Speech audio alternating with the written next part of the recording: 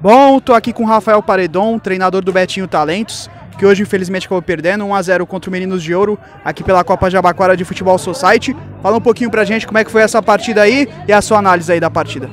Sim, é, dois tempos corridos de 15 minutos que se você propor o jogo e tomar é, é normal você tomar os contra-ataques, né? Se você não tiver pressão, pressão pós-perda e foi uma, um erro que nós cometemos ali, uma infelicidade deles, uma proposta de jogo que eles tiveram, que foi adotar o, o contra-ataque. É, e nós, infelizmente, nós tivemos algumas chances para concluir em gol. Tivemos o nervosismo normal da partida, né? Às vezes, essa menina dessa idade, por mais que eles sejam é, sub-15, eles ainda oscilam ainda o emocional, mas é importante para o amadurecimento dele e nós vamos em busca das próximas partidas para conseguir essa classificação e chegar nas fases finais.